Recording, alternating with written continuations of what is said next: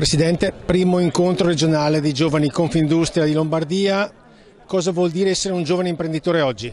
Siamo molto felici di ufficializzare e dar vita a questo primo evento proprio perché abbiamo, l'abbiamo voluto proprio per eh, instaurare un, un rapporto con, con, le istituzioni e far passare il messaggio che oggi i giovani imprenditori sono la classe dirigente del presente, non tanto del futuro e siamo a disposizione di tutta l'intera comunità e quindi delle istituzioni per eh, mettere a fattor comune quelle che sono le nostre competenze e la nostra visione.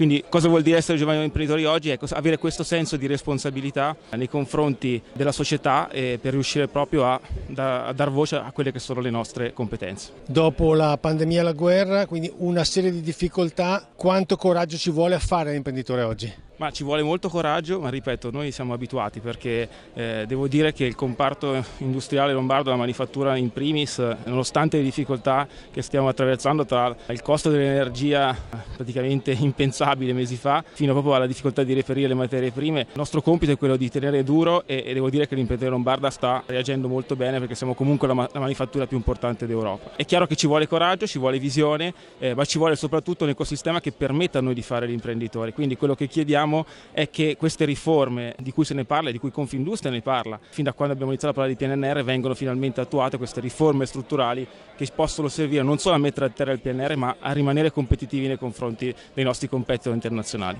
Concludiamo con un consiglio ai giovani imprenditori che vogliono intraprendere questo percorso? Di avere tanta passione, coraggio e forza perché eh, soprattutto in questa regione le cose si possono fare e il mondo di Confindustria è pronto ad accogliervi perché mai come in questo momento abbiamo bisogno di dare forza eh, e